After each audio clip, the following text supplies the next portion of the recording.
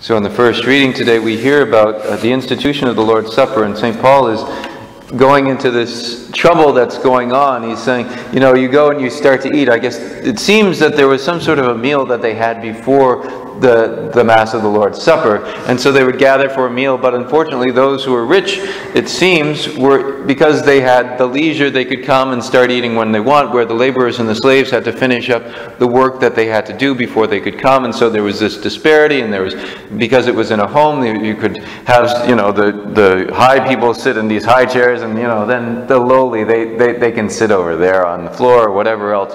And so St. Paul is saying, you know, what's with these divisions that are going on among you? There's something going on. And he's saying, you know, when we look at the grace of the Lord's Supper, where Jesus comes and then we have this institution narrative, um, you know, who, that he's talking about, you know, how Jesus comes. And he says, as often as you eat this bread and drink this chalice, you proclaim the death of the Lord until he comes.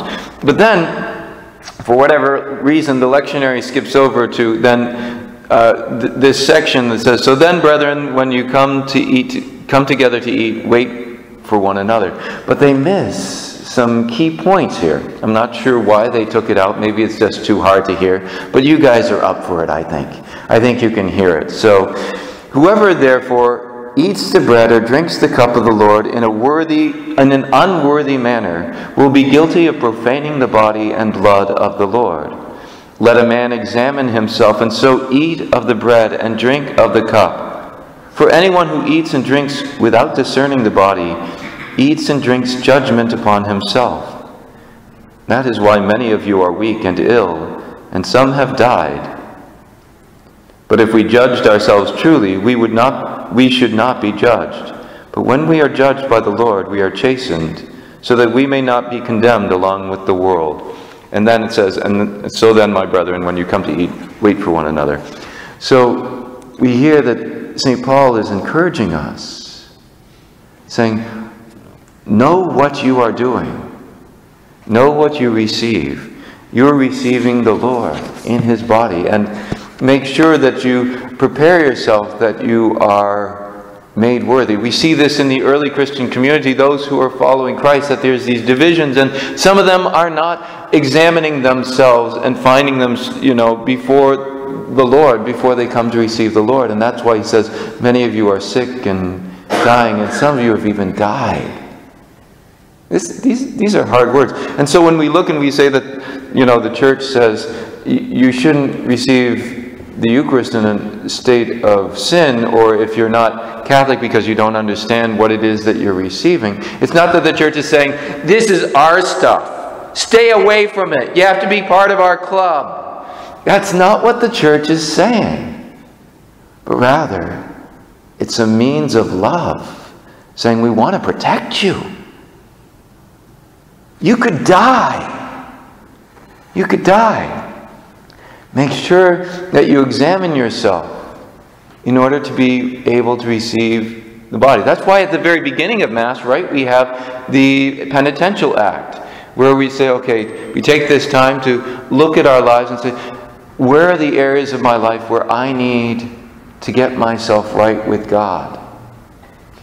And as we heard yesterday with the, um, the, the, the, three parables that Jesus told about the, uh, the lost sheep and the lost coin, and then the parable of the prodigal son, it's not that God is saying, finally you have come to me, but rather he rejoices. He, he longs for us to come in our brokenness and say, God, I need your healing. He runs out to meet us, he goes seeking for us.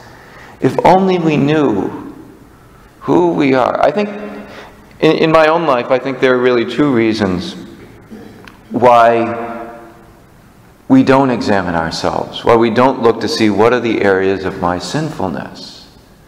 One is because, uh, you know, I like my sin and I don't want to have to give it up. And so if I examine myself and see that this it means that I'm going to have to change my life. The other is shame. I hate my sin so much that I'm, ashamed to bring it before the Lord, and I'm afraid of how He's going to react to this. And sometimes there's a lot of both going on. mixed in together. And the Lord just says, I so want to bring you healing. Come to me. Come to me. I want to make you worthy.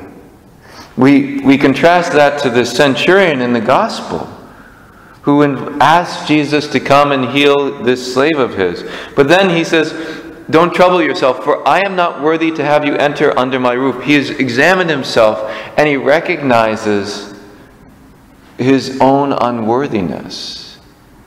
And I think I, I, don't know, but I think the reason that Jesus doesn't go to the house isn't because he's unworthy, but rather to show by his faith. Do you see his faith? His servant is healed. He doesn't even need me to go as a sign of God's power, a sign of God's love. But here was a man who wasn't even part of the Jewish nation. And certainly Christianity hadn't started up yet, but he believed with great faith in Jesus. And Jesus commends that. And in that, he examined himself and says, I am not worthy to have you enter under my roof. We hear that. You ever heard that before? But only say the word, my soul shall be healed. You ever, ever, ever hear that anywhere? I don't know. Like right at before we receive communion. It's an invitation for us to look at ourselves and say, what are the areas that I need to surrender to the Lord? What are the areas of brokenness that I need to turn over? What are the areas of my sin that I need to repent?